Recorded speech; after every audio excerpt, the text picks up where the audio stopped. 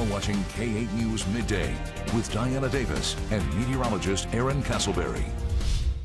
Ready to kick back and relax? Well, this is your place. Wappapello Lake is hosting music in the park this Saturday. Joining us now is Andrew Jefferson with the U.S. Army Corps of Engineers at Wappapello Lake. Thank you so much for making the drive down well, we here. appreciate the invite as always. This event that you've been telling us about, it's a favorite. It's been going on for It's been going on for at least 20 years, at least. Wow. Uh, it happens the Memorial Day weekend, which actually kicks off the summer recreation season.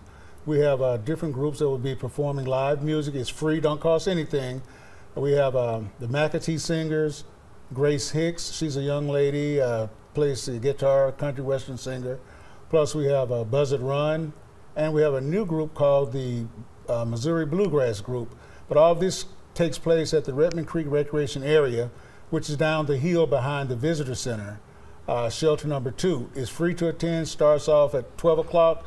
Uh, we want you to come on out, enjoy yourself, bring your favorite blankets or lawn chairs, and just have a, a good afternoon of listening to some good old gospel bluegrass music. And, and no charge. I mean, No charge, it's free.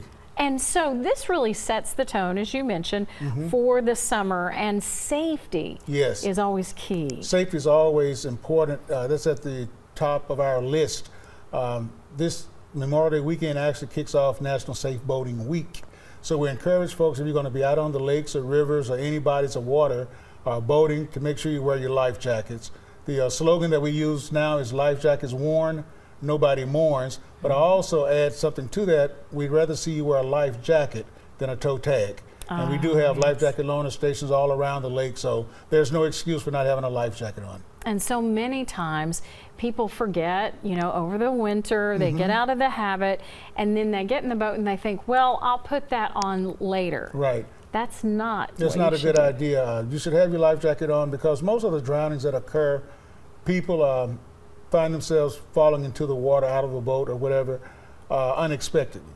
And uh, it's much more difficult to put on a life jacket, well, to try to put it on when you're in the water rather than when you're in the boat. So always uh, boat smart from the start, wear your life jacket because life jackets and seat belts do save lives. And parents need to also be very aware of where your children are Yes. all the time around yes, the water. Because it only takes, uh, Diana, uh, 20 to 30 seconds for a child to drown. So that's why it's important for parents to put those cell phones down if necessary.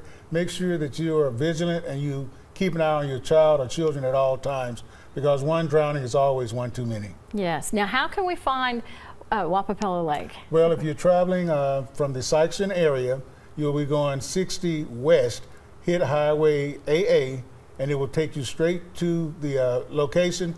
Do not cross the dam. If you cross the dam, you've gone too far. But there will be signs on the highway. You would turn in at the uh, visitor center and just follow the road down the hill, and uh, you'll be there.